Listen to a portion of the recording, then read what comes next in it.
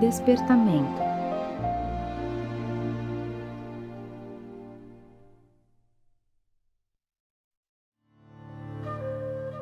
Busquemos sim, meus amigos, ouvir a palavra daqueles que nos antecederam na ascensão à vida superior.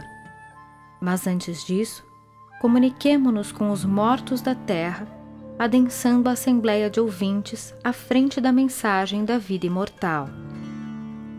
Acordemos com o nosso exemplo e com a nossa fé.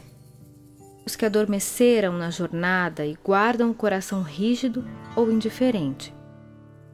Levantemos aqueles que transformaram a existência em cemitério de impossibilidade, ante o sofrimento do próximo, os que enregelaram os melhores sentimentos no egoísmo estelerizante, os que converteram os bens no mundo em adornos frios e inúteis, os que transformaram o jardim em que respiram num túmulo florido, e os que fizeram da oportunidade de viver, auxiliando aos semelhantes, um cadafalso de ouro a que se acolhem, receando o alheio infortuno, porque há mais morte no caminho humano que no próprio sepulcro, para onde vos dirigis, procurando a revelação da verdade.